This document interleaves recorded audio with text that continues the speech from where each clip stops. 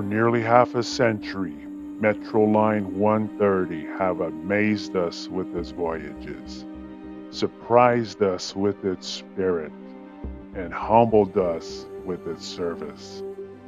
From the gateway city of Cerritos to Redondo Beach in the South Bay. Metro Line 130 journeyed like no other and has become legend. Its original routing, one of the finest ever designed, will come to pass.